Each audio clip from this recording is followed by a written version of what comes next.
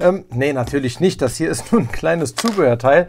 Das kommt mal darüber zu dem Kabel und hierum soll es heute gehen. Ja, eine dicke, fette Powerbank mit, ihr seht schon, Solarzellen obendran und äh, ja, Wireless Charging. Taschenlampe und einigen Anschlüssen. Und wir stellen uns heute mal die Frage, erstens, funktioniert das Wireless Charging? Zweitens, bringen diese Solarzellen wirklich was zum Aufladen?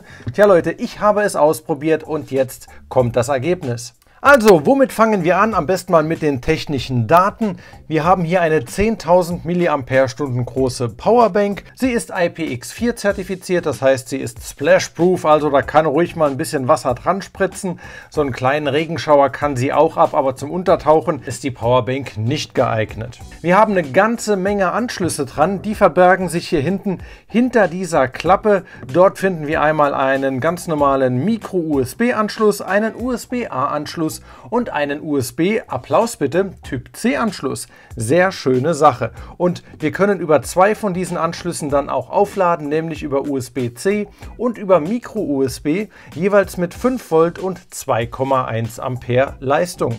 Der Output erfolgt hier über den USB-A-Anschluss in der Mitte, das heißt, da könnt ihr euer Ladekabel anschließen und bekommt 5 Volt und 2,1 Ampere Output-Leistung da insgesamt raus. Dann haben wir noch unser Qi-Wireless Charging Pad auf der einen Seite. Das bringt maximal einen Output von 5 Volt und einem Ampere, ist also eher auf der, ja ich sag mal langsamen, gemächlichen Seite, aber immerhin eine richtig tolle Option, dass das hier mit eingebaut wurde.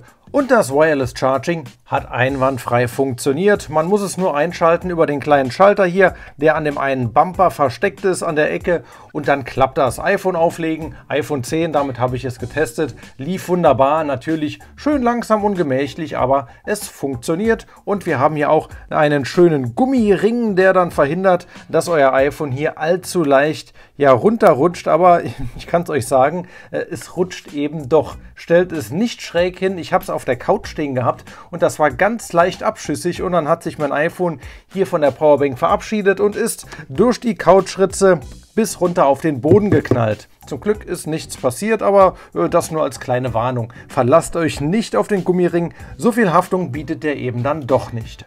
Ach übrigens hier der kleine Kompass, der hier ganz am Anfang zum Vorschein kam, ja der ist ja auch mit dabei, denn das hier ist ja ein Outdoor-Expertengerät. Äh, kleiner Karambiner, kleiner Kompass und das kann man dann hier an diese, ja, an diese Lasche hier noch dran machen und da kann man äh, ja, das befestigen so, und dann äh, ja mit dem Karambida hier irgendwie die ganze Powerbank aufhängen und man findet immer noch seinen Weg mit dem kleinen Kompass. Ja, sogar dann, wenn der Handy-Akku leer ist, denn da steckt ja auch ein Kompass drin.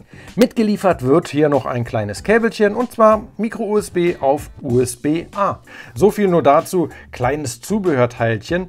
Dann haben wir noch äh, quasi als Outdoor-Funktion eine Taschenlampe hier dran. Ihr seht, wir haben zwei LEDs und die werden auch über den einen Schalter hier aktiviert.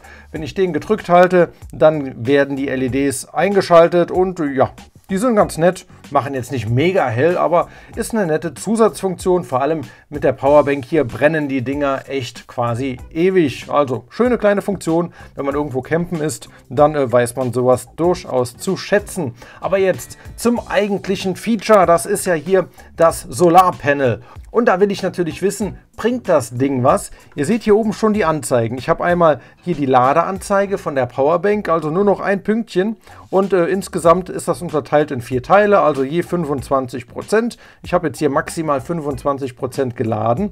Und hier habe ich nebendran noch so eine kleine Sonne und eine grüne LED. Und äh, wenn ich mal die Hand hier drüber halte, über die Panels, seht ihr, die grüne LED ist aus. Und wenn ich sie wegnehme, geht sie wieder an und zeigt mir an, dass hier gerade aufgeladen wird. Und optimal wird hier nur dann aufgeladen, wenn wir mindestens 25.000 Lux Helligkeit haben, die hier draufknallen und dann wird maximal mit 180 Milliampere geladen.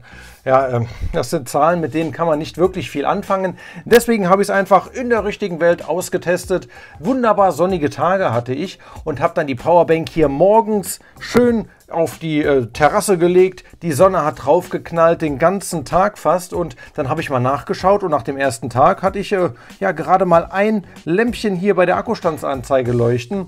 Naja, dachte ich, war ja jetzt nicht so eine tolle Ausbeute, also den zweiten Tag auch nochmal in die Sonne reingelegt und ich hatte ja gar keine Veränderung. Dann dachte ich, okay, lege ich es noch einen dritten Tag wieder in die Sonne und ich hatte äh, ja wieder keine Veränderung. Also das Ding ja, das lädt einfach extrem langsam. Und äh, das muss man einfach sich bewusst machen. Das ist hier mal wieder, ich habe es bei anderen Solar-Powerbanks schon gesagt, nur ein Gimmick. Wenn ihr in der Wüste Gobi seid und ihr habt mal so zwei Wochen Zeit, das Ding in die Sonne zu legen, um es voll aufzuladen, ja, dann funktioniert das. Aber wenn ihr denkt, hier, ich bin beim Campen, legt das hier mal einen Nachmittag hin und dann kann ich hier wunderbar mein Smartphone wieder direkt mit aufladen.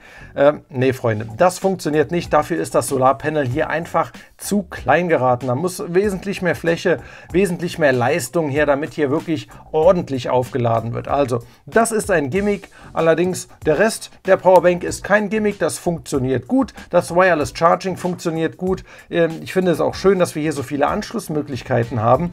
Allerdings finde ich es schade, dass wir nicht über USB-C auch Geräte aufladen können, sondern das wird lediglich als Input äh, gekennzeichnet. Aber zumindest haben wir so die Möglichkeit, USB-C und USB, äh, Micro-USB anzuschließen und damit die Powerbank nochmal zusätzlich aufzuladen, wenn es dann doch mal schneller gehen soll als in zwei Wochen über Solar. Ja, ansonsten, ja, schöne Optik finde ich hier mit dem Schwarz und dem Orange. Äh, das sieht echt nett aus und äh, ja, kann man machen. Ist eine nette Powerbank. Hat so wunderbar funktioniert. Wie gesagt, 10.000 mAh mit den kleinen Zusatzfunktionen, Taschenlampe, viele Anschlüsse, Solar und Wireless Charging. Schönes Ding, allerdings, äh, ich warte echt noch auf die Powerbank, bei der ich sage, yes, legt sie in die Sonne und ihr könnt nach einem Tag euer Smartphone wieder dran aufladen. Wer weiß, vielleicht kommt da ja noch was. Aber das soll es gewesen sein. Das war die Blavor, ja, wie heißt denn die eigentlich? PNW05 G